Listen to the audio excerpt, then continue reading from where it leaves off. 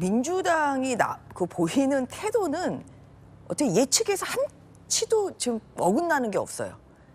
항상 불리한 짓이 나오면 항상 조작, 항상 얘기하거든요. 그래서 정치적 수사입니다. 그 다음에 저는 3단계는 뭐냐면 영장 청구가 될 수도 있어요. 아 그러면 이것은 정치적 수사로 정당한 영장 청구가 아니기 때문에 아 그 사전 조건. 나는 불체포 특권 폐지 불체권 특권 나는 그거 반대. 음. 예. 행사하겠다. 분명히 그렇게 나올 겁니다. 그래서 너무 이것은 너무 여러 번 봤던 이 장면이기 때문에 그렇기 때문에 이게 조작이 될 수가 없는 거죠.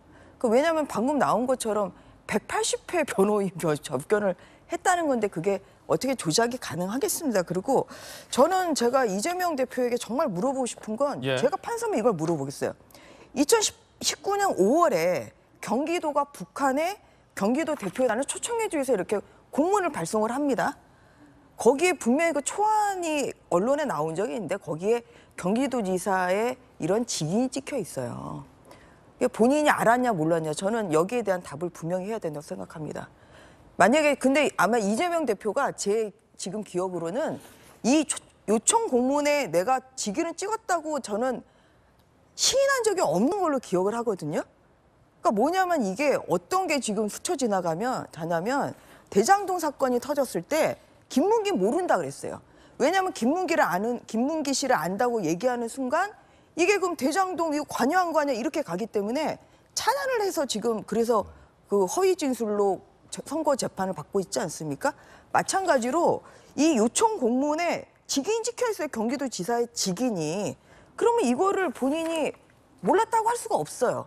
그 다음에 그렇게 되면 어떻게 되냐? 그해 11월하고 12월에 300만 달러를 지금 김성태 전 회장이 줬다는 거거든요.